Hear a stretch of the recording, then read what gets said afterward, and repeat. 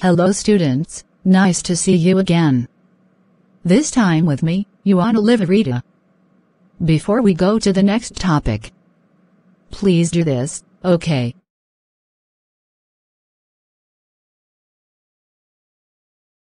This topic is simple present tense. If we want to talk some activities which happen in every day, or we always do the activity every day. So we use simple present tense. We want to talk about facts or reality. For example, the sun rises in the east. We also use this tense. Okay, let's get started. The pattern used in the simple present tense. Subject, verb, with, or without, s.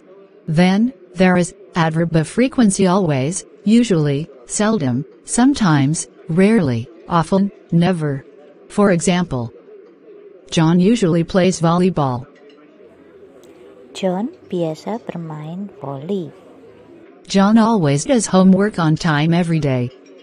John selalu mengerjakan PR tepat waktu setiap hari. Let's change the subject used. You usually do homework. Kau biasanya mengerjakan PR. You always play volleyball. Kau selalu bermain bola.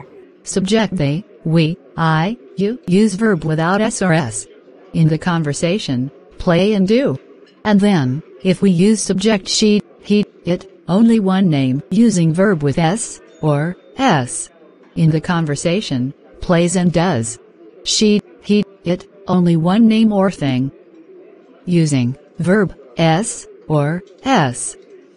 And they, we, I, you, more than one name or many things, using verb 1. Okay, so I will sum up about the pattern used in simple past simple present tense yaitu subjek menggunakan she, he, it dan nama satu orang atau benda satu itu menggunakan verb s atau es contoh tadi she plays memakai play memakai s. Nah seperti itu.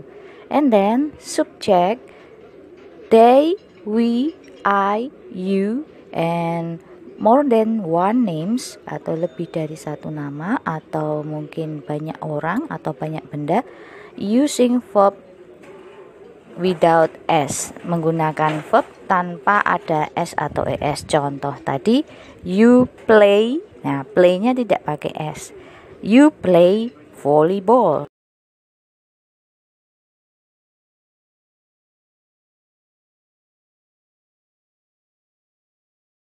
Fiona. Do you still remember Robert? Yes. So what's the matter? Yesterday, I met him. He told me that he has been jobless for three months. But now, he works part-time job.